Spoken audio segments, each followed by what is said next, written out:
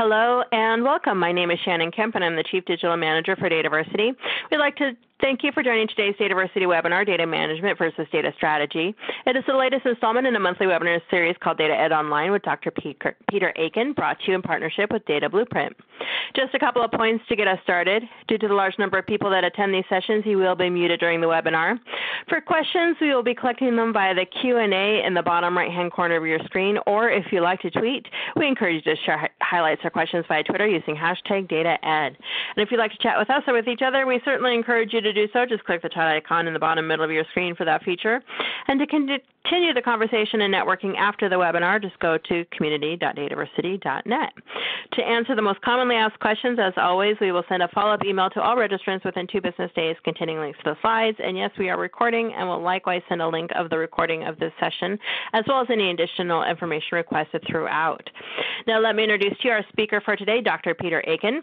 Peter is an internationally recognized data management thought leader. Many of you already know him or have seen him at conferences worldwide. He has more than 30 years of experience and has received many awards for his outstanding contributions to the profession. Peter is also the founding director of Data Blueprint. He has written dozens of articles and 11 books. The most recent is Your Data Strategy.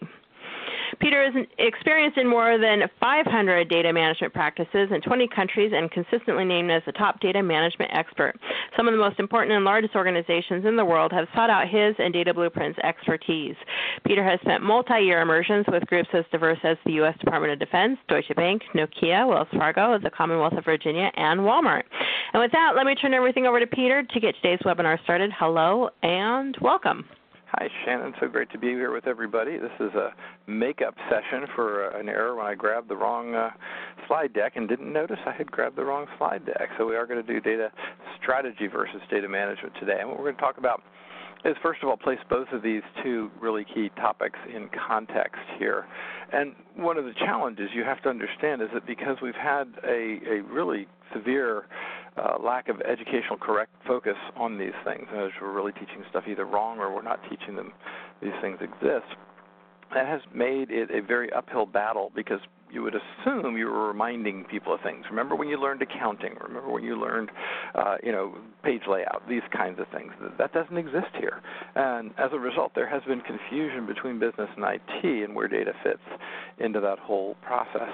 So then we'll dive in quickly to data management first. What is it? Why is it important? And what is the current state of the practice?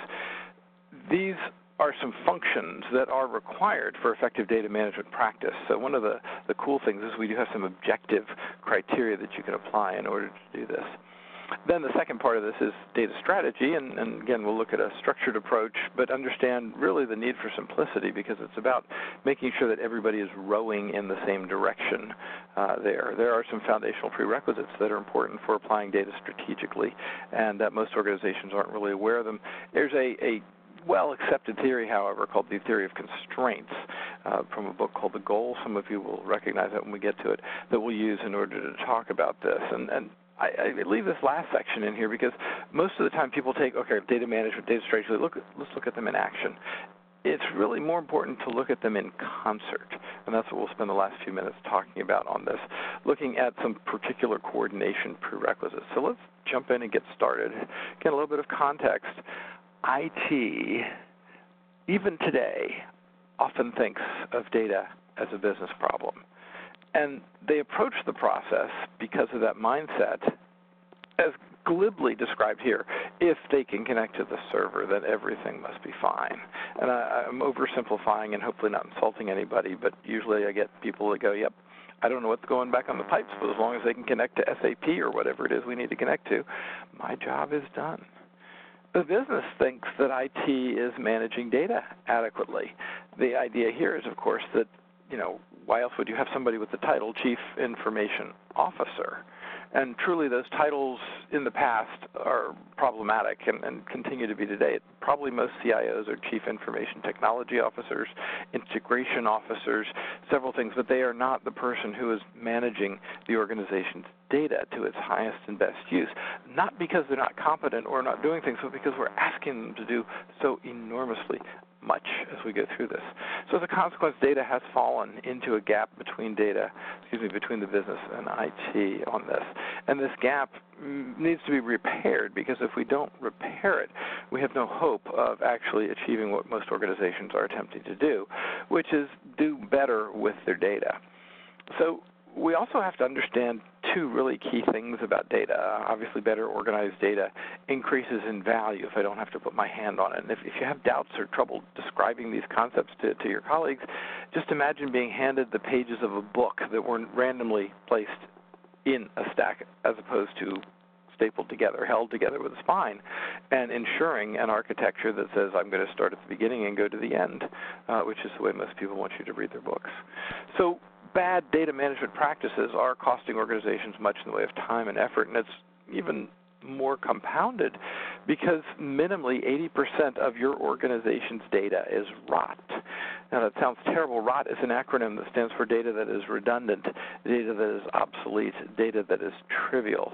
Uh, my wife corrects me on this and says actually it's incomplete, obsolete, or trivial. Uh, whatever we're going to do, the question is which data does one eliminate on this? Because if we got rid of four fifths of our data, and by the way, the only argument I ever get on this specific point is that people say it's not 80%, it's 85%, it's 90%. Um, so we're in the right direction here for sure. Now, 80% of the data being rot, we should get rid of it and, and try to work with the rest of it. And the rest of it does have some different characteristics. Uh, data is the most powerful underutilized, poorly managed organizational data asset. It's the only asset that you have that isn't depletable, it doesn't degrade over time, and it's durable in nature. Notice I'm comparing it to other types of things up here on the screen financial assets, real estate, inventory, et cetera, et cetera. Data assets outperform all of these. They really do win when you compare them against these other assets. Uh, there's lots of other comparisons that can be made, but many people then go to straight data is the new oil. This is frankly one of the worst ways to describe data because people think of it as a consumption uh, function and something that goes down. I like to replace the word oil with the word soil and say there's two things about data that are critically important. First one is you don't just randomly take apple seeds and spread them around the yard and expect that you're going to have an apple orchard. You carefully prepare the soil, you nurture it as it's grown, and this includes a second dimension then that is also different. In the soil example, it takes time. Nobody expects you to plant apples on Monday and eat them on Friday and yet we do have unrealistic expectations about how long and how much effort needs to go into the various data projects. Now, if you need to call it bacon in your organization to make it work, that's okay. But data as an asset, as your sole non-depletable, non-degrading, durable, strategic asset, data your new soil. Data deserves its own set of strategic considerations, and it deserves attention on par with similar organizational assets. And finally, it does require professional administration to make up for the past neglects that we've had in this area. Now, just to show you this is reasonably important, is that our former governor of Virginia put forth pieces here that says, look, you've got to do this stuff because it's critically important. He also says it impinges on people's privacy, and we need to come up with common vocabulary. So these concepts of best data management practices that we're talking about in this whole series of webinars are becoming accepted in state and federal government, and that is important because it will literally get us on the same sheet of paper. Because right at the moment, most organizations have little idea what data they have. They don't have an inventory. They don't know where it is. They don't have a map to find it, and they don't know what their knowledge workers do with it, which is hugely problematic. So let's sort of summarize on this. First of all, if we're going to do data, we understand we're dealing with volumes, and these volumes are large. And quality engineering and architectural work products simply don't happen accidentally. They have to be properly developed. And yet, when we look at this, data management happens pretty well at the work group level. It is, in fact, a defining characteristic of what a work group is. Without guidance, however, what are the chances that all the work groups learn the same, much less all the individuals in your organization? Uh, imagine trying to learn French by randomly calling up people in France and getting different French accents. It wouldn't make the easiest way to learn the language get on the same piece of paper.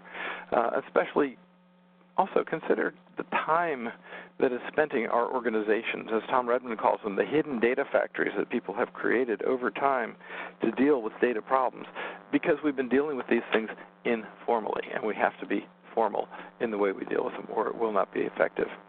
Data chaff then becomes sand, and it prevents smooth interoperation and exchange of organizations, literally leading to death by a thousand cuts in many organizations.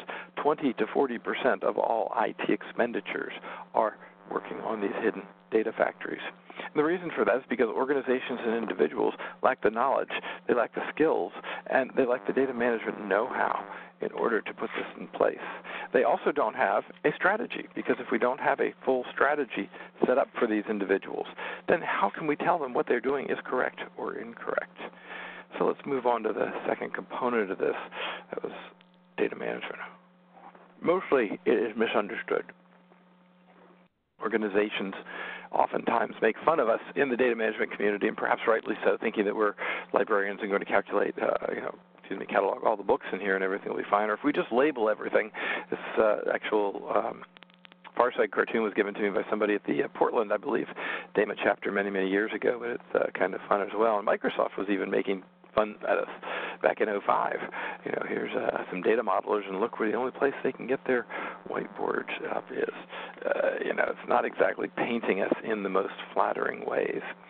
So, uh, let's talk about from a data management perspective, what we've got is the ability to look here, development and execution of all of the architectures, policies, practices, procedures that manage the full life cycle of data. An easier way to think about it is, quite frankly, that data needs to be managed from input when it's first captured to the processing that it has uh, all the way throughout until it's used in an analytics or otherwise type uh, function on this. So input, process, output, and what we're really doing is we're processing data, but nobody wants to use those terms because they somehow seem bad uh, on this. This is our, our, our proper definition for this, and yet it doesn't really talk specifically about technologies, and that's really important because this discipline is really about architectural focuses up here. However, it does extend down into the, the data pieces. Nevertheless, there's still problems with this because if you go to the colleges and universities, right, what you'll see is an example like this being given by students.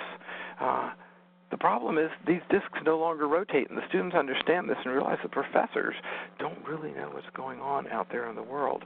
So there's an enormous disconnect between what people need to learn about data and what they actually learn about data in college and university projects.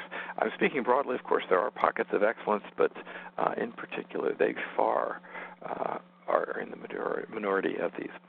So let's take a look at a data model in particular here. And the idea is that a software program may have a specific focus and that we may produce a data model, a data structure that would be used to access the data of these programs. A program can access zero or one or more um, different data feeds that come into it. Uh, another underutilized effort would be here.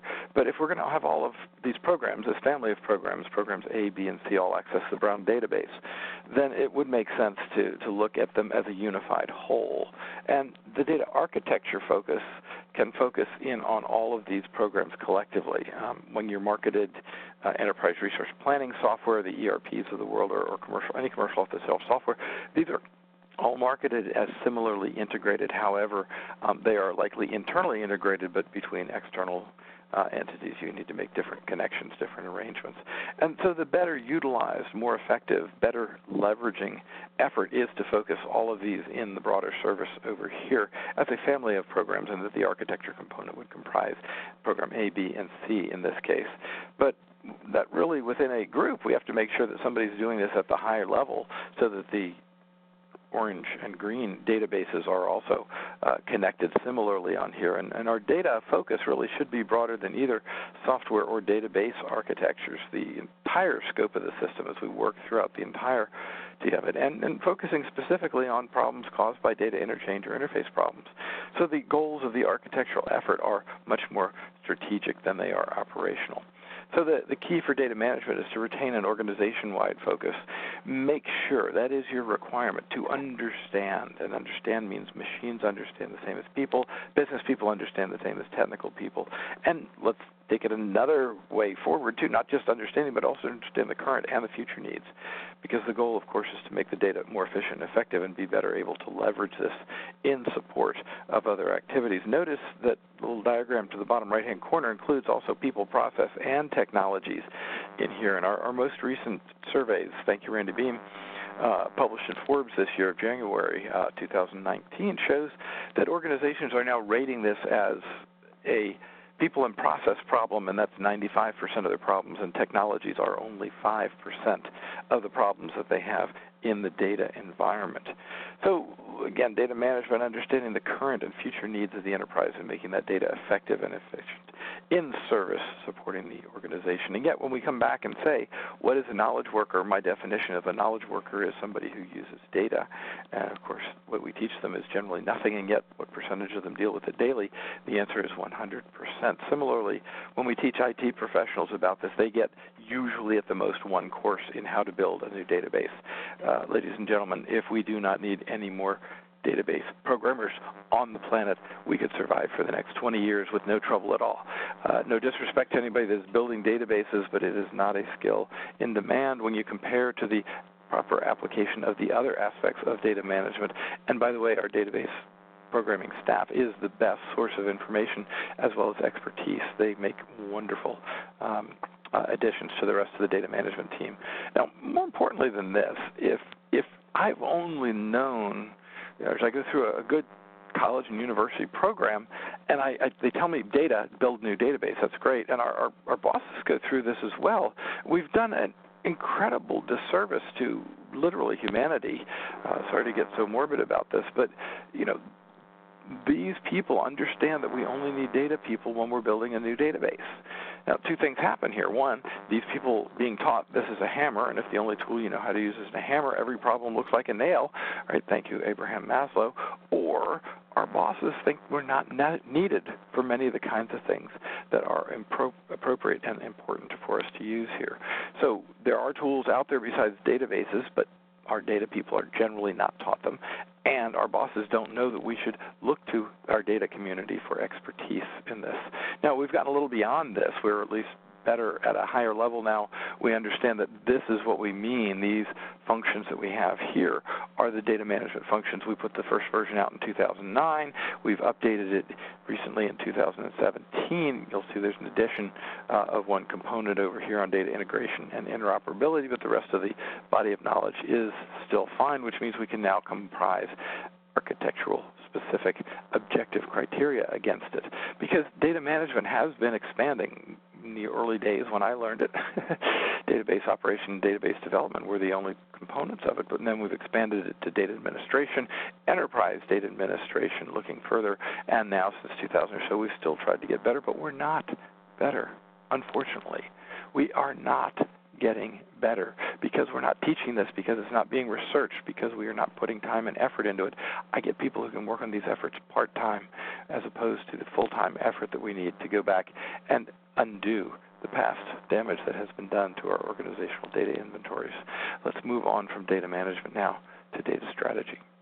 Data strategy here is talking about the ability to understand where this goes. And yet, what I see time after time, the number one, two, and three strategies that people tell me they are using in their organizations are data science, big data, and analytics. Well, I don't know if you've seen or not, but data science is becoming more and more problematic because it's defined at the wrong level of abstraction. Happy to take that discussion offline. Big data is producing the same results as general IT project work in general, which is a 70% failure rate, and analytics, nobody really knows what it means, so it's very hard to put it out as a strategy. The next ones, by the way, that I get down there are these technologies, which also are not a strategy either. So people do not understand data strategy at this point. And let's again see why. Organizational strategy, it made sense to make an IT strategy, and from there we made a data strategy. Well, I'm sorry, but it's just simply wrong. And the reason in particular is because data is a program, and data has to exist at a level at least on par with the IT strategy, and in most organizations supersede it. It's not that IT strategy is not important, but data strategy will drive aspects of IT strategy, and that's how you get that 20 to 40 percent savings in IT strategy. Now, let's just take the word strategy for a minute and focus in on it. If a great TED Talk, if you haven't had a chance to see it, I've got the reference here, obviously, on the slide, is Simon Sinek's How Great Leaders Inspire Action. And the, the two minute summary is that human beings are pretty good about telling you what you do, but we're less good at how we do it, and we're not very good at describing why we do things. Now, it's just one of those things that it talks about what are we doing, and people end up being inspired. That's the definition of inspiration. So it's not what you do, it's why you do it is one of his catchphrases in here. Imagine if Martin Luther King had given the not the I have a dream speech, but the I have a plan speech. It's just not the same thing. So that inspiration, that motivation, that why, that is the strategy that we're trying to get to, and it's got to be simple. If we look at strategy, the use of the word strategy originally came from the military, but around 1950, the business folks got involved in it and started taking uh, it into the business world. But the best definition by far is by Henry Mintzberg, which is that strategy is a pattern in a stream of decisions. I'm going to give you three very quick examples. First one Napoleon is fighting a bad guy, uh, excuse me, a larger army at Waterloo. And here the British are in the orange, the Prussian are in the, the uh, black, and the French are in the blue. So the question comes up how does one defeat the competition when their forces are bigger than mine? The answer, of course, is divide and conquer. Let's take a quick look at his approach to this problem, which is still taught today in military academies all over the world. What Napoleon observed at this point, remember, he's in blue, the British are up in the left hand corner in red, and the Prussians are in black. And the British had their supply out of Ostend, that's why you have spies, so they go in and find out this information. And the Prussians were supplied out of Liege. Now, I want you to imagine if you get hit in the face, do you fall away from your food or towards your food? I know that's kind of an abstract question, so let's put it in tangible. Right? If I hit these two armies exactly right, Napoleon thought, I will cause them to become discombobulated. Getting hit in the face is no fun at all. And when they become discombobulated, they are more likely to go towards their supplies than go away from their supplies. This, of course, being brilliant thinking and at the same time perfectly good common sense. So his first approach was let's go in there and attack them. And when I do, I need all my army to turn around to the right and attack the Prussians, and then turn to the left and attack the British. Because if half of them go for the British and half of them go for the Prussians, I won't survive this course, you guys know the outcome of this. He did not actually survive this. Nevertheless, it is still taught as a brilliant example of strategy. Now, let's go a little bit further. One of Canada's grading, uh, sorry, greatest uh, athletes is Wayne Gretzky, and he has a definition of strategy in that he says he skates to where he thinks the puck will be. If he's following the puck, the puck is fast. They're both on ice. Good luck catching up there's a wonderful articulation about this entire process at Wayne Gretzky's Wikipedia entry. But again, a very simple description of strategy that everybody likes. Our third example strategy is a Walmart former business strategy that you all probably know because Walmart's former business strategy was known to their customers, to their suppliers, to every vendor that dealt with them, to all kinds of people. Because if you didn't understand that every decision at Walmart, every pattern in a stream of decisions defaulted towards providing the customer with lowest price, then you really didn't understand how Walmart worked. And they are assiduous about this process. They do a phenomenally good job on this. Now, these three strategies are simple. And yet, what happens here is that many organizations actually screw this up because they'll say, okay, great, well, I know we want to do some strategy work, and strategy always results in one of two outcomes. Sorry, one of three. Nothing. That's the first potential outcome. But if you get some good outcome, it either improves operations or it results in innovation. We've studied this for years. These are the two definitive outcomes that happen as a result of strategy. So if we take our standard four quadrant chart of V1, the, the, the lower left-hand quantity, organizations without a formal data strategy are going to be pretty problematic. Uh, again, we've seen that already. So we'll accept the premise that Walmart is phenomenally talented in terms of its logistics areas and that they are very good with increasing organizational efficiencies and effectiveness. And let's take in quadrant three the Apple quadrant of Apple making innovative products. And when Apple makes innovative products, they use it to create strategic opportunities, as in inventing iTunes and many other aspects of society that we currently take for granted today. Now, the point here is to say that we shouldn't try to do both of these things at once. I want you to imagine Jony Ive, who was the erudite British uh, chief architect, former chief architect for Apple, uh, who would come on and do the narrations of the new uh, iPhone or iPad videos. Uh, you know, again, talking about what a beautiful product is, and say, "I'm sorry, Jony Ive, you've got to be increasing efficiencies and effectiveness here." Uh, it would blow his mind. And I, it, similarly, if you took the really excellent people at Walmart who are phenomenally world class best at squeezing uh, efficiencies and effectiveness out of their supply chain and said, I want you to be creative, it doesn't work. So it makes sense to sequence these things. And unfortunately, most organizations say, let's try to do both at the same time with the same group of people. Again, it doesn't work. Strategy has to be simpler. So the proper approach in most organizations is to use the V2 quadrant to squeeze out some extra savings in there use that savings to fund the things that are going on in V3. Recall again, strategy is a pattern in a stream of decisions. It means everybody has to understand this all the way from the top to the bottom. And yet, we don't understand that data programs need to precede software products. This is the whole reason for these two strategies being separated, because data evolves at a different cadence, a different rhythm, a different pace than does applications. Application development processes are very good at creation activities, and uh, um, excuse me. Sorry, I had a throat choke up. Uh, agile is one of the more um, effective approaches at doing this kind of development work. And as Dutch, the question I get asked over and over again is how do these two interact? And the answer is they absolutely do not. Uh, one process takes literally months and quarters and years, and in some organizations, decades. And the bottom one is trying to be accomplished in two week sprints. So they have to be separated and made sequential. Data is not a project. I like to show this vision of my barn a couple of years back. Now I'm what's called a horse husband, and part of the the deal was that I built a, uh, a barn with my spouse here. She actually designed it, and uh, I provided the yes uh, on this. But one of the things we did was take pictures of the barn here, and people stop at this point and say, "I'm sorry, I thought we were talking about data management and strategy." And the answer is yes, they're perfectly uh, complementary in that they need to be integrated in order to do this properly. So the barn example here is that the bank also did an interesting thing with this, that which we should probably adopt over here, especially when we're thinking about development projects. So the barn, excuse me, the bank, uh, the bank required that I have a foundation inspection before I go on and complete the rest of the barn, and more importantly, before I get the rest of the money that they are loaning me to build this particular barn. So the foundation can be inspected according to some criteria. It was actually passed by a building inspector for Hanover County, Virginia, which is the law. And when I had that certificate, I was then given the next set of money.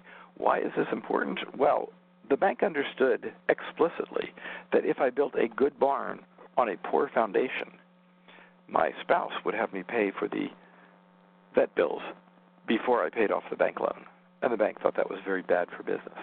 So the bank said, We're going to guarantee you that you're going to build on top of a good foundation, which is our best hope that you will do exactly what needs to happen correctly in here. And interestingly enough, there is no IT equivalent for this. And because there is no IT equivalent, it amounts to, it introduces incredible confusion into what's going on in the whole IT spend. It again, returning to Maslow for the second time in this webinar, let's just review Maslow's hierarchy of needs and then I'll relate it to data management technologies and technology and practices in general.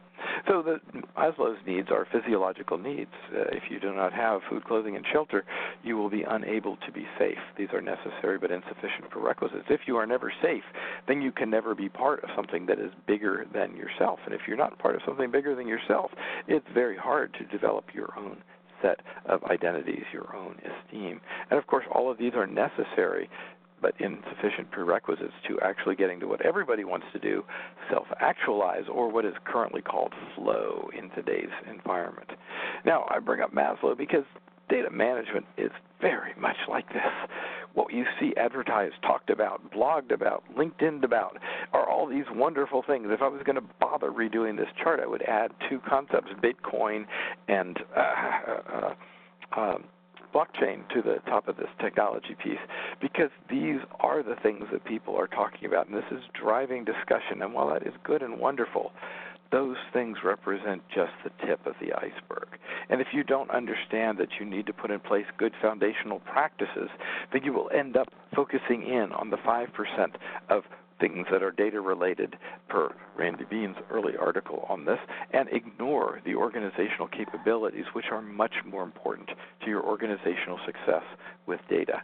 So in many ways, people trying to do Bitcoin or blockchain or MDM even are trying to self actualize without sufficient basis in here. And this accounts for, in my estimation, minimum of half of all failed IT projects throughout the entire world we are always asked at Data Blueprint, yeah, yeah, Peter, I know you heard you do that, but can you do it by Friday? Can you do this faster? And I say, yes, you can accomplish this faster, but if you do it faster, it will take longer. If you do it faster, it will cost more. If you do it faster, it will deliver less, and if you do it faster, it will present greater risk to the organization than if you crawl, walk, and run your way up the data management maturity curve. So thanks again to our colleague Melanie Mecca for developing this work and our partners at the CMMI for helping to put it out there in the public domain. The five data management practices areas are the ones that I had at the bottom of that, those foundational pieces.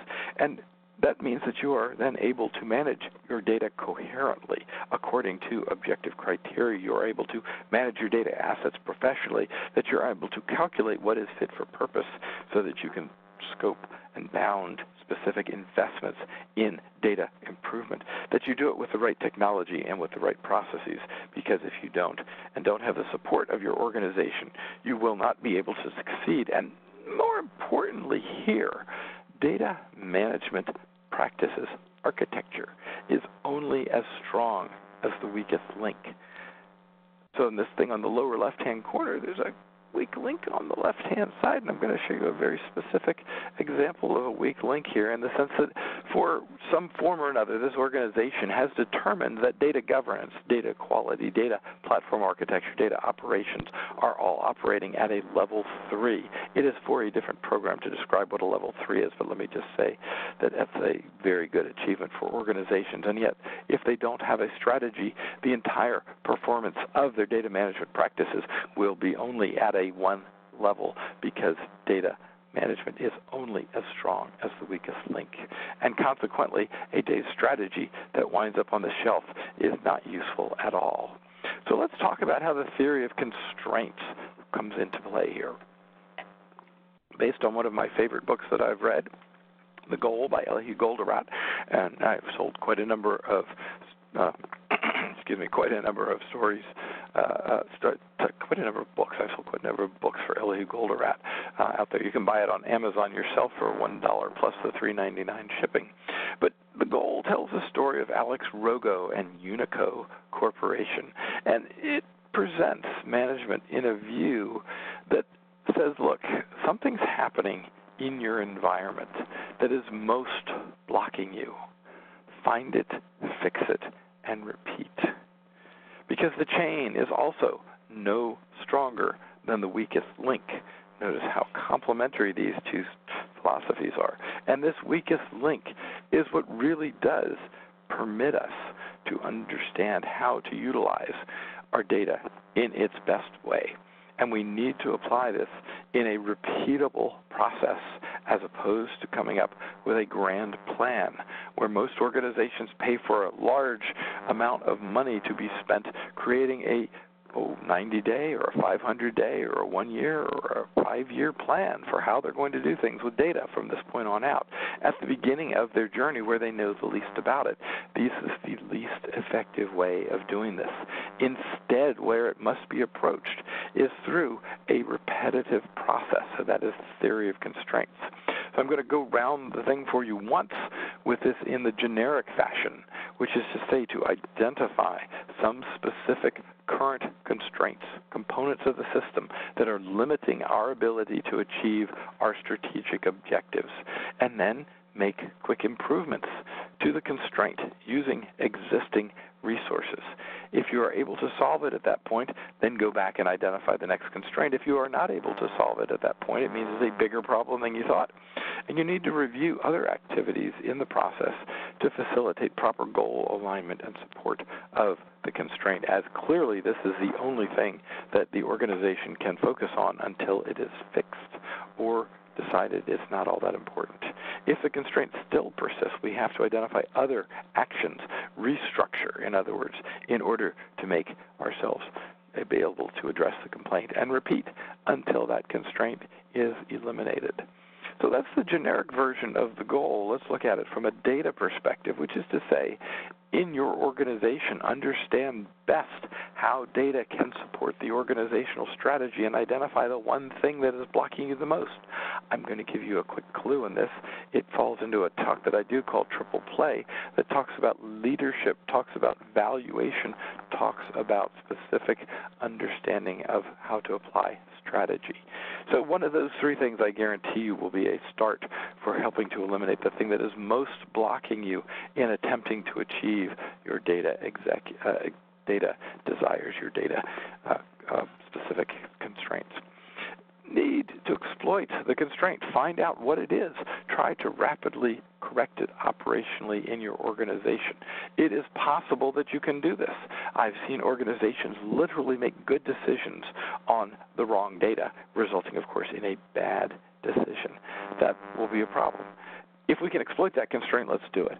However, if we cannot exploit that constraint, uh, sorry, if we, doing that does not fix it, then we need to restructure our approach to the problem by subordinating all activities to improve all data evolution activities to ensure singular focus on the current objective.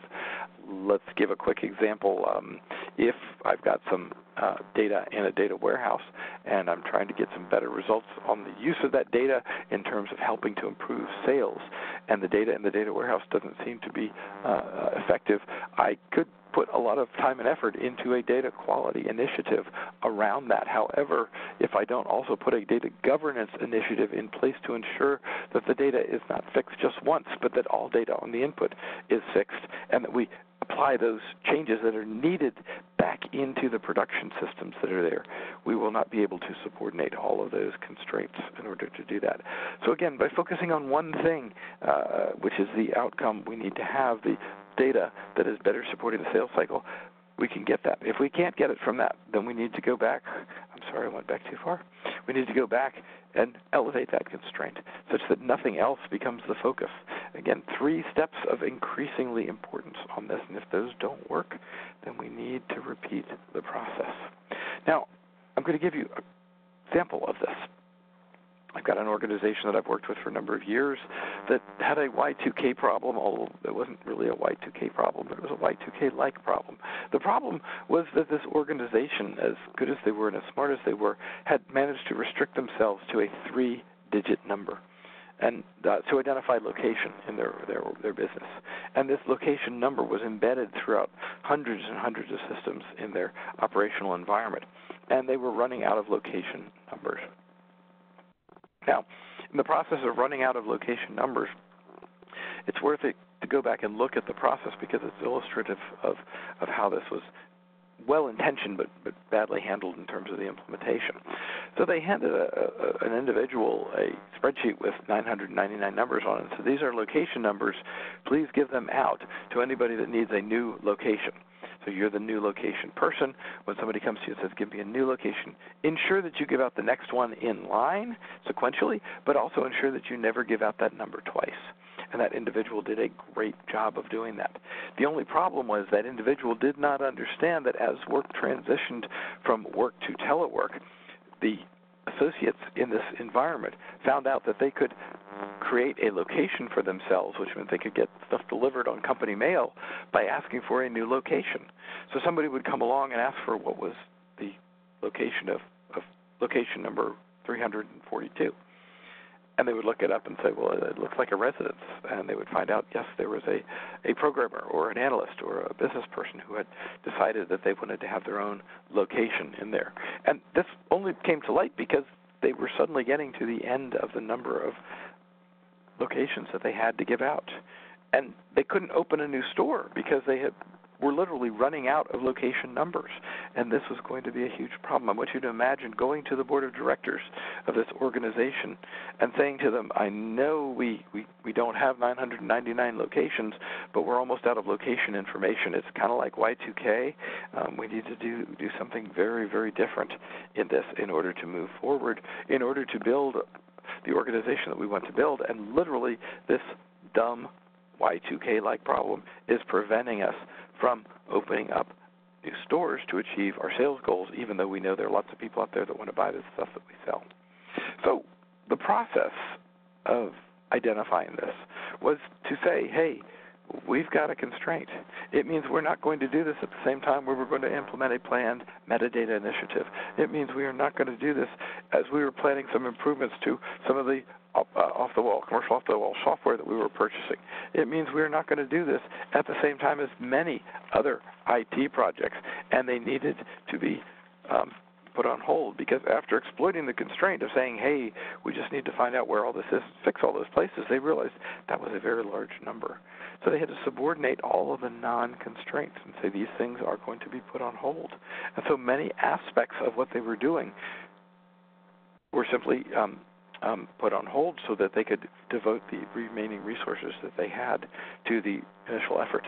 It reminds me of a Star Trek analogy, and I apologize for those of you that don't have any idea what I'm talking about. But Scotty, I need all the power at the engines, right? Is is what we were talking about, and that elevated the constraint, which the organization then restructured to address. And luckily, they didn't have to repeat the process because it did solve the problem, and they also understood now better the amount of governance that is really required in order to properly do this because this is of course the moral of the story the orders to the individual who is handing out the location identification should not have been just give out a new number and ensure that you don't add any duplicates but also make sure they have a valid reason for doing so which is one of the things that data governance will help us in the long run in terms of doing initiatives around this so the process is really lather, rinse, and repeat.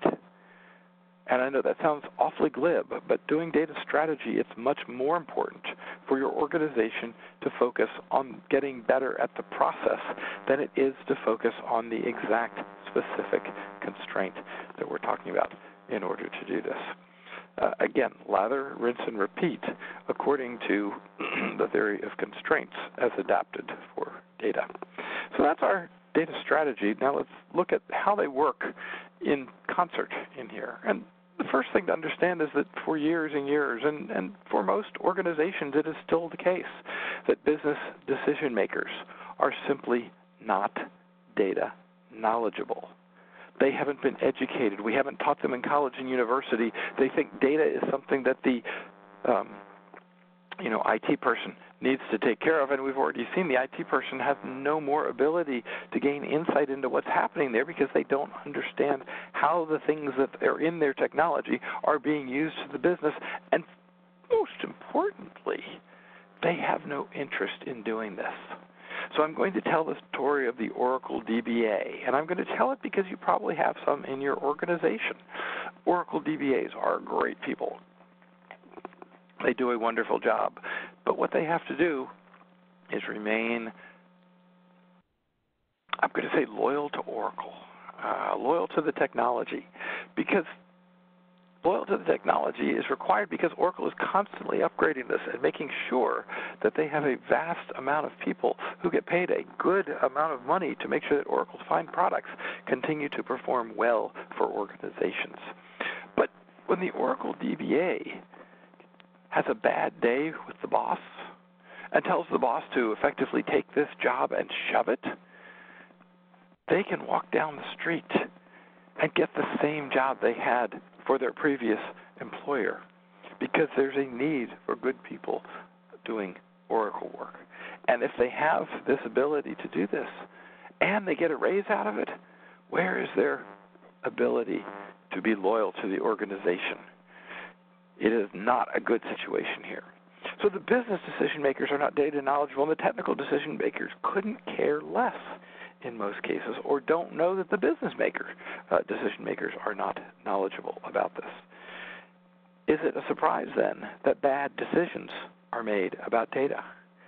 And that results, of course, in the poor treatment of organizational data assets and poor organizational data quality, which leads to poor organizational outcomes. Again, 20 to 40 percent of your organization's IT budget is being spent in this bad data decision spiral. We got to break out of the spiral. So, in context, what we're going to do is look at data strategy as a way of focusing the limited efforts that we have on developing the organizational capabilities to do data better. And our data strategy is done in full support of the organizational strategy. There is no other reason for it to exist. But when we look at data strategies related to data management, we talk about what improvements to be made need. Excuse me, let me do that again. We talk about what improvements need to be made in our data management practices and which mm-hmm. areas we should focus on for this cycle. And that's the way we will get better about data. And the feedback that goes back says, how well is our data being employed to support the organizational strategy? This is really, really key because if we don't have this ability to go back and forth in understanding our data and how it's being used, we have no ability to be useful at the strategy level for our organization. In Peter's world, IT projects support data management activities because if I'm going to save 20 to 40 percent of IT costs, and again, I guarantee you that is the range that we're talking about here, these projects will be very differently implemented. And the characteristics of what we do in IT in the organization will be redefining how IT supports the strategy. We need to fill in a little bit of uh, context here just to make sure we've got some feedback loops on this, but this really should give you a good idea of how data strategy and data management interact. So let's talk about a couple of quick takeaways in here. First of all, this discipline has not had the 8,000 years that our colleagues in the accounting profession have had to formalize generally accepted accounting principles. We are working on it. Folks like Dave McComb, myself, uh, Tom Redman, John Ladley are all working to try and come up with these accepted disciplines. And there's some very good efforts that are being made. We need to unify all of these around uh, a single effort so that we can more quickly make progress in this area. But we have been around probably 250 years. I like to trace the founding of our discipline back to Ada Lovelace. Ada Lovelace was the world's first programmer who understood what programming was before computers had even been made. 8,000 years versus 250? Yeah. It's okay for us to be immature. It's not okay for us to stay immature. Second, come to grips with the fact that likely your data is a mess and requires professional administration to make up for it. Most of you fall into that category of professional administration. What you're lacking are the resources. And the resources can be better and more easily attained by understanding the relationship between data management and data strategy. The folks that are in your organization outside of your group do not know how to do this because they've learned it on their own because colleges and universities have not provided the level of data education that needs to be implemented. You likely need to implement a completely new business data program. And I use those three words explicitly because this program has been reporting historically to IT, and look what it's gotten us. It's not to say that IT is bad, but IT has a vast, vast remit, and they're dealing with many, many, many, many, many, many things. And it's where security lies.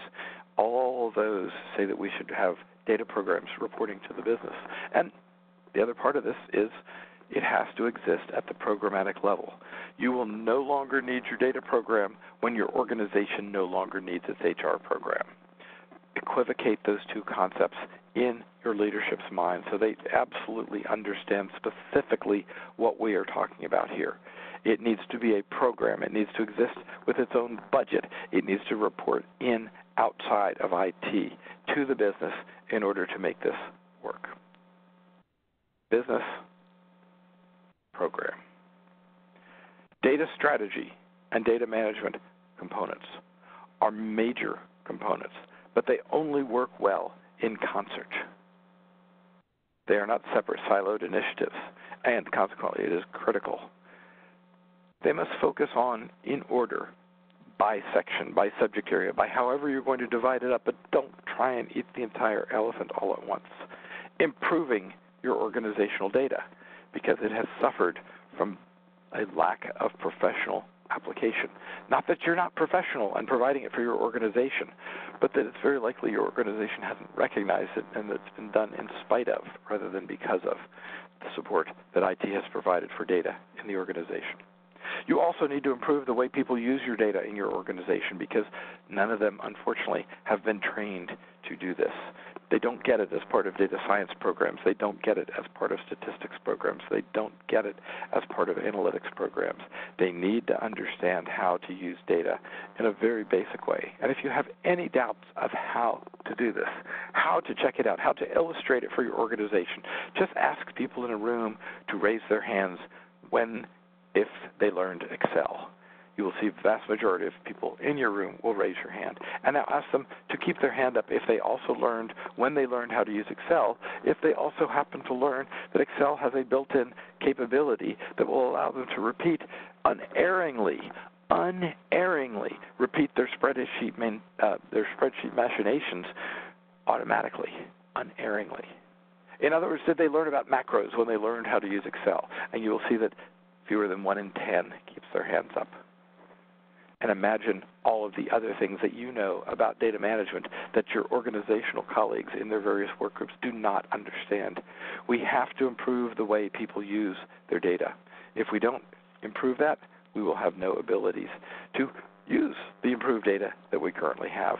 One more component of all of this, which is understanding how people can better use data to support strategy and understand full well that because the data is considered of such poor quality, we actually are saying one of the biggest problems in artificial intelligence is not the lack of algorithms to train it, but the data, the lack of good data to train it. This is why Amazon is mining all of your conversations, why Google is listening to all of the conversations that occur on your Android phones, because there is simply not enough data for them to work on the AI algorithms, and they're trying to capture this in various different ways uh, of, of, of doing this a wonderful read on that topic, which is way off a topic here on data management versus data strategy, but worth shouting out, is a book called The Rise of Surveillance Capitalism by Shoshana Zuboff. She has done a marvelous job of putting together the argument for this. Because if you improve your data, improve the way people use that data, you're presenting technology in a very neutral form, and you're showing people how to better use data to support organizational strategy, which means they now can do what they're trying to do more effectively. In some ways, this is kind of awkward, but that's the way it works, right? This can only be accomplished using an iterative approach, focusing on one aspect at a time and applying formal transmission methods, transformative methods. So again, our little icon in the bottom right-hand corner tries to take off slowly and then gradually attains altitude and gets going. Crawl, walk, and then run your way about trying to do organizational strategy to influence your organizational data management. So we spent the last almost an hour now at this point, talking about some important data properties and talking about the fact that you can't count on people to have had any data background in their college and educational pieces. And there's no reason, I mean, there's no, there's lots of good reasons. There's too many reasons for, for, for badly understanding the difference why data has been ignored by both IT and the business. Kind of got dropped in the middle of them. But hopefully now you have a good idea of what data management is, a coordinated practice discipline of formalized methods that we can objectively determine whether they are being practiced or not. But uniformly, the state of data management practice is low and needs to improve uh, in such a way. The functions that are required for effective data management are well specified, well understood, but not well instantiated in our organizations. And it's going to take decades for us to go back and correct that deficiency that can best be accomplished by using a data strategy, a structured approach that allows for a very simple way of improving specific data management practices. And each time you go through that cycle that I showed you for the theory of constraints, each time you go through it, you are building more organizational capabilities. You have the chance to involve more or improve the people who are doing its knowledge and skills and getting better about the entire process because this these foundational data management practices are foundational prerequisites for organizationally leveraging your data. It is absolutely critical that they exist because if not, whatever you're doing will take longer, cost more, and deliver risk, deliver less at greater risk for the organization. I've showed you the example of how the theory of constraints is used to work. That is instantiated in the book that Shannon was talking about. uh, enterprise data executive and data strategy. So our final takeaways are that the two of these are not sequential activities. They are continuous activities. Data management you will not be finished with. You will be finished with it when your organization is done with its HR finish. They need to be done in concert, in coordinated fashion, and these coordinations are a necessary prerequisite to getting all of these things done. So we're finishing up here just at the top of the hour. I will turn it back over to Shannon. Peter, thank you so much for another great presentation. Really appreciate you doing this. And uh, just a reminder, uh, we will send a follow up email with all the information and uh, to all registrants within two business days. Uh, containing links to the slides and links to the recording. Peter, thanks again for doing this, and hope we all can join us next month. look forward to Peter, our next thank- Thank you, Hannah. Yeah.